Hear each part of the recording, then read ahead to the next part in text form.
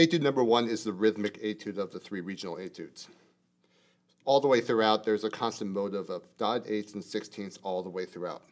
Be sure all the way throughout you're really precise with them all the way through. Be helpful with the metronome to be sure that you're putting a dotted eighth sixteenth beat and lining that up really good. Another good way to think about that is think of the words day, today, today, today. This rhythm gets butchered in music all the time, so you want to be really precise with it all the way throughout. In the third measure, there's a G natural for the first note of the 16 note run. The last note is going to be a G sharp. It's easy to think of that as a G natural, so be sure you've got that right there. The seven tuplet in the second line is kind of pops off the page and can be kind of scary. It's just a simple A major scale, and it starts on C sharp and ends on C sharp. Don't be worried too much about the timing of it. Just be sure you start in the C sharp and you end on the high C sharp on the downbeat of the next measure. At the end of the second line, we have leggero written, which means light and graceful. So as you go through here, keep your tonguing really, really light. Be sure the staccatos there's not too much tongue, being tone over tongue. And at the end, last three measures, it's written rallentando e diminuendo al fine. That means slow down, get softer at the end. So you want to slowly slow it down all the way to the end. Being sure we stretch out the rhythm of the last measure to be sure we show the difference between the dotted eighth sixteenths and the quarter note, and then the dotted quarter note eighth and the half. Etude number two is the lyrical etude of the three region band etudes. All the way throughout, we want to be sure that we're doing a lot with the musicality. And there's not a lot of direction in this piece. Outside of the, of the first line, where we have some dynamics and some crescendos and decrescendos, there's not really much written. So you want to be sure that you're always shaping it, always doing solo crescendos and, and decrescendos. Remember that music is always either going somewhere or coming from somewhere even though it is a slow etude, there's a lot of very fast rhythms all the way throughout. One thing that can be very helpful as you practice this is to take the eighth note for the beat. So at the beginning, it's written as quarter note equals 56. So if you think of it, if you double that tempo, think of it 112, the rhythms become a little bit easier to count. 16th notes become like eighth notes, 32nd notes become like 16th notes. It's much easier to count that way. At the end of the second, second line, we've got this long 30 second note run that can look very, very intimidating. It's an A flat major scale. You just have to look and see what note it starts on and what direct, when it changes direction all the way throughout. The nine tuple at the end, think of it just as a slightly faster group of 30 second notes. So we have a group of eight. For the group of nine, you're pushing it just a little bit. And you want to be sure you're aiming for the C on the downbeat of the first measure of the third line. There's lots of pinky work throughout this entire etude. This one's in key of A flat major, which as we go up in sharps and flats, more pinky work gets involved. Be sure throughout you're always alternating left pinkies and right pinkies. You never want to play two notes with the same pinky and have to slide. Finally, the last note of the piece is held for a long time. If we're thinking the quarter notes, it's three and a half counts. It's very easy to cut this off early. Be sure you're counting that note out all the way to the end, shaping it really well, and also get a tuner out and be sure that note is right in tune. Especially playing softly, it can go sharp really easily. Etude number three is the technical etude of the three region band etudes. This one moves a really, really good clip. So it's really important to do slow practice on this.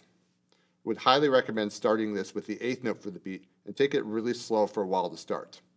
Want to be sure we're playing all the rhythms and the notes correctly, and we've got all the fingers in the right spots you want to be sure all the way through this etude that your fingers are very, very relaxed. If your fingers tense up, it's going to be really hard to play all the fast runs that are all the way throughout this etude. There's a lot of dynamics in here that's easy to forget about because our fingers are moving so fast. Be sure you're paying really close attention to them and doing a lot with them and really exaggerating them, especially at the very end of the piece. When you take an audition on the fast etudes, you want to know what's the fastest I can play this etude cleanly. Slower and clean is going to beat fast and dirty any day. So know where your limits are. This is a very fast etude, and if you play it a little bit under tempo and play it clean, that's going to score you more points than trying to play it fast and dirty. Another thing that's easy to forget about with this etude is the articulation patterns. There's a lot of them all the way through. They're kind of bizarre in the 6-8 pattern. Look at them very closely.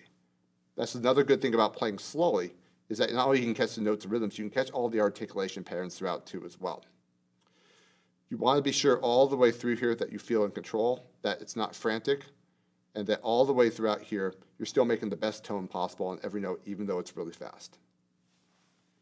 Etude number four presents a lot of challenges. It's fast and it moves along at a good clip. There's lots of rhythms all the way throughout here that change. Lots of dynamic contrast, and sometimes very extreme dynamic contrast. And there's a lot of really nasty finger work all the way throughout here too as well. You want to start this one slow, just like we talked about with etude number three. You want to be sure you've got all the rhythms and the notes correct. And you want to double check them really carefully. There's a lot of spots in here where accidentals carry through the measure, and the, because there's a lot of notes in the measures, those measures can be long, it can be easy to forget about. So go through this really carefully. Look through it before you even start to play it, and be sure all those accidentals are marked in. Dynamically, there's a lot of big changes all the way throughout here. And a lot of them are very extreme dynamic changes that go from like the loudest we can play to almost the softest we can play. Be sure you bring those out and really do what they say on the page. There's some slides in the, in the third line that don't come up, these don't come up very often, where we have to play two pinky notes on the same hand. The first one happens on the first measure of the third line. And this one we have from the E flat to D flat. We need, we'll need to slide with our right pinky down here. This is because we have an A flat coming up in the next measure where we have to play on the left pinky. The other one comes in the last measure of the third line. And there are a couple ways to do this one, but the way I like to do it is the first note of the last measure of the third line is an A flat. Then it goes down to a C. I would suggest sliding from the C to the B on the right hand, then playing the C on the next C on the left hand, and the next E flat on the right hand. They're really challenging patterns, so you really want to practice these very slowly and figure these out. If you don't figure these out, it's going to cause a lot of problems with your technique. Finally, there's a lot of articulations all the way throughout here too as well to watch out for. There's a motive all the way throughout here where we have an eighth note and a quarter note. Eighth note has a staccato on it, the quarter note has an accent on it. Repeats frequently throughout the piece. Be sure you bring that out so we hear that all the way throughout this. Just like we talked about the etude number three, it's better to take this a little bit under tempo and have it be clean than to take it at full tempo and have it be dirty. So as you work through this, keep that in mind. Be sure it's always in control and never frantic. The All-State audition ends with etude number five, which is the slow lyrical etude of the three etudes you have to play for the All-State audition. It's also the last thing you will play at your audition. So kind of a different procedure with All-State auditions versus regional auditions. There's two audition groups. And the first room you'll play your scales and your sight reading, and then you'll go to the etude room and play your three etudes. So this would be the last thing you, you play at your audition and you want to leave a good impression with the last thing you play. Makes a big difference. All the way throughout here, we want to connect these dots as much as we can. Spark cantabile at the beginning of the etude, which means song-like. So we want to make it almost sound like we're a really good opera singer. The tempo is half note equals 72. It would be very helpful in this piece to play it with the quarter note for the beat to kind of help get the rhythm at the beginning of, of your preparation. Once it starts to move a little bit, you want to switch it over to half note so it flows a little bit more. There's not a lot of dynamic direction all the way throughout here. So you want to be sure you're always, music is always going somewhere or coming from somewhere. So be sure it's never stagnant all the way throughout. We always also want to be sure we're always producing the best tone we possibly can all the way throughout here. There are some musical markings that look like sideways S's that show up a couple times in the piece. The first one shows up on the first measure of the second line, and the other one shows up on the third measure of the third line. This is called a turn. And, it, and we want, basically, it is a ornament that we will do that follows the shape of the sideways S. So to demonstrate, the first one that starts on the first measure of the second line starts on a G. What you will do is you will quickly go up, up above the G, go down, go back, and come back up again. I will demonstrate for you to give you an idea of what it sounds like.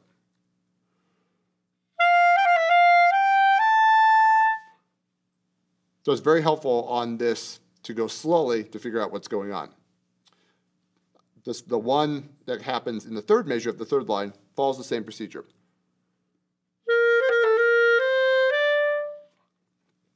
So when listening to the recordings of the etudes, listen to these parts very carefully to be sure you know what's going on. All the way at the end, there's some really big dynamic changes. It starts with 2-2 and has forte cantabile, and then it goes down to piano echo. So we have one part where we want to be loud, one we want to be soft. And it's very challenging because the higher part is the softer part, not the lower part. So when you go up high, be sure you're producing a lot of air support. Don't bite with your embouchure and have your tongue up in your mouth with an E position to help with pitch and help with tone quality. Last two measures, it slows down at the end. Be sure you give a real gradual slowdown. Hold that last note, fade it out, and use a tuner to be sure that last note is in tune.